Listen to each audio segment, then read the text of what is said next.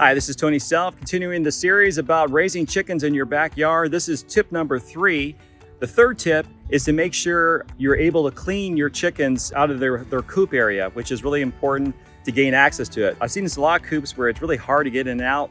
What I've done is I made sure that one side of the coop, as you can take a look at here, actually you're able to open it and then put a wheelbarrow next to it. Another little tip as well, as I unlatch this here, is that I actually have on the floor just tiles, well, little plastic tiles. So it allows us to clean it up pretty quickly. But you can see inside here, it's actually quite nice. And um, you're able to clean it out pretty quick. That's a big thing. So I can put a wheelbarrow here and not have to hunch over and try to get this out real quick. So I can make cleaning my chicken coop very, very quick. Tony Self signing off.